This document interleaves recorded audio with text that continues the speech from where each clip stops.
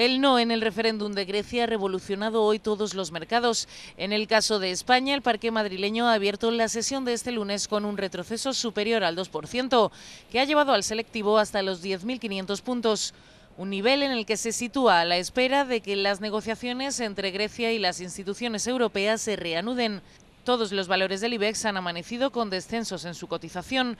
Las acciones de FCC eran las que más cedían, seguidas de las de ArcelorMittal, ACS, Banco Popular y Red Eléctrica.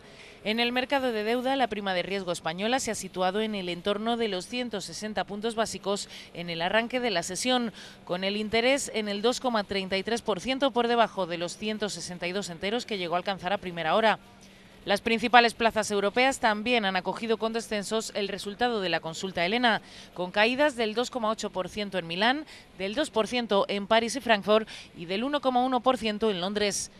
Mientras los contactos de la eurozona se retoman hoy, la primera reunión tras el referéndum griego tendrá lugar este mismo lunes. Será a través de teleconferencia y solo a nivel técnico, mientras los países del euro deciden los pasos a seguir.